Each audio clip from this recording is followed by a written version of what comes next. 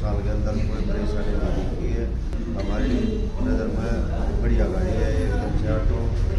इसमें कोई भी किसी चीज़ की हमें प्रॉब्लम नज़र नहीं आई, कम से कम कोई पंद्रह बीस साल हो गया, उन्हें डीजल वाली ऑटो चलाते हुए। लेकिन इस गाड़ी परफॉर्मेंस बहुत ही बढ़िया